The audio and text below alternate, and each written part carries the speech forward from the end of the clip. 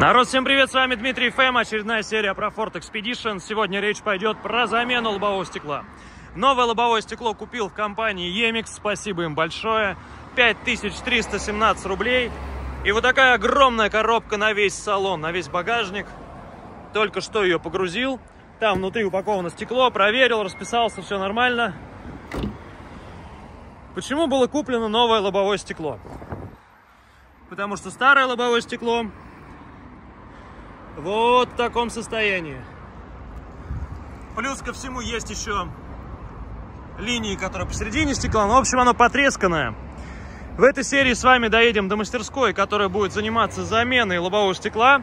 Расскажу, сколько будет стоить работа, сколько занимает времени. И посмотрим с вами, в каком состоянии металл под вот этими всеми резинками после снятия старого лобового стекла. Так что не переключайтесь, подписывайтесь на канал, продолжаем. Что, друзья, приехал в мастерскую. Вот такие вывески Битстоп, автостекло. По записи записывался на 9 утра. Время 8.56. Сейчас ворота как откроют, будем загонять Форд.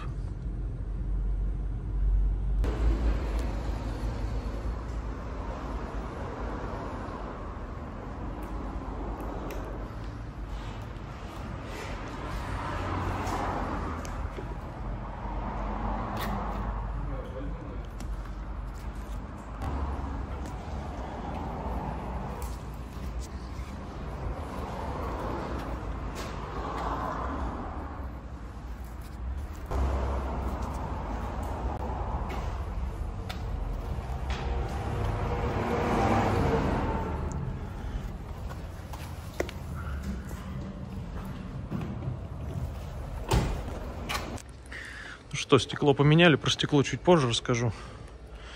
Самое главное, что после замены стекла сразу приехал, прошел техосмотр. Теперь можно ехать, ставить на учет. Сейчас документы получу, выйду, включу камеру и расскажу вам про стоимость замены стекла, ну и вообще, в общем, что там и как было. Ну что, давайте расскажу. В общем, стекло устанавливал в автостекло 34. В Волгограде такая контора есть. Заказывал, покупал стекло в Емиксе. emix.ru. В Емиксе стекло стоило 5317 рублей. Доставка была примерно 4 дня. Э, в автостекло 34 установка стекла обошлась 4000 рублей. И установили они его достаточно быстро, там буквально за полтора часа. Но машина стояла у них в сервисе примерно плюс еще 3 часа для того, чтобы клей засох. И они могли выдать гарантию того, что ничего не случится со стеклом. Но я никуда не торопился. Я утром спокойно отогнал машину, и вот после работы сходил, забрал ее. Стекло фирмы КМК. Попробую сейчас показать. Не знаю, насколько оно э, качественно, как оно проходит, э, какие у него могут быть нюансы, но в целом при установке стекла мастера, кто смотрел, сказали, что нормальное стекло пойдет. Не знаю, по каким параметрам они определяли. Если заказывал бы я стекло в том магазине, где и устанавливают стекло, то установка была бы дешевле, а само стекло было бы дороже. И все равно бы тысяча на полторы, на две дороже бы вышло, если бы у них все это делать. Это первый момент. И второй момент, я изначально заказывал в Волгограде вот э, в магазинах, которые занимаются установкой стекол, прождал две недели, оплатил стекло. И мне перезвонили, сказали, что стекло не приедет. То ли на складе там нет, то ли ошибка какая-то была. Ну, поэтому я обратился уже в известный мне магазин emix.ru, там в целом таких проблем не бывает. Это первое. А если бывает, то в личном кабинете, на телефоне я сам могу мониторить и видеть, на какой стадии находится доставка моего заказа. Очень удобно, рекомендую.